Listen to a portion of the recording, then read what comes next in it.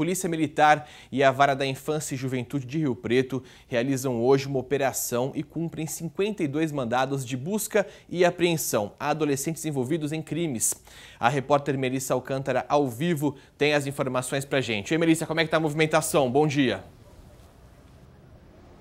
Olá, Grande, um bom dia a você a todos que nos acompanham. Olha, os adolescentes trazidos aqui para serem ouvidos pelo juiz da Vara da Infância e Juventude de Rio Preto são todos reincidentes em crimes, na sua maioria tráfico de drogas, furto de veículos e também roubos. Dos 52 mandados de busca e apreensão que foram cumpridos hoje, oito menores já foram levados direto para a cadeia pública e de lá vão para a Fundação Casa. Os outros 44 foram trazidos aqui, como a gente disse, para o fórum para explicar por que não têm cumprido as medidas em meio aberto, como, por exemplo, comparecer em juízo quando solicitado. Depois de uma avaliação, o juiz decide se é ou não caso de internação.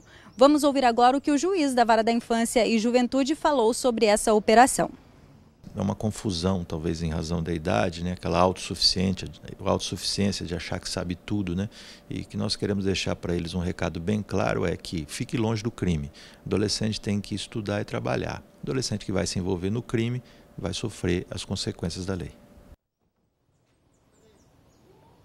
A operação batizada de Adolescentes Longe do Crime tem o objetivo aí de diminuir então o número de menores reincidentes em crimes que já estão, não é, Casagrande, cumprindo alguma pena em liberdade. Voltamos com você.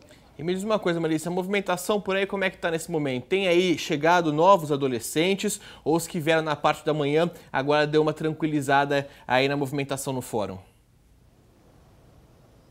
Agora está bem mais tranquilo, viu, Casagrande? Mas quando a gente esteve aqui mais cedo, teve um momento que chegaram três, quatro viaturas, todas cheias de adolescentes. A gente ouviu que quase todos os mandados foram cumpridos com sucesso. Muitos adolescentes entraram, estão sendo ouvidos neste momento. Alguns já foram e já é, tiveram a notícia sobre a decisão do juiz se ele seria internado ou se teria aí uma nova chance.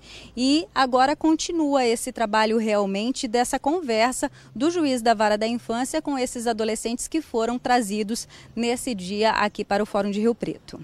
Tá certo, Melissa. Obrigado pelas informações, aí trazendo informações ao vivo para a gente no nosso SBT Interior sobre essa operação, né?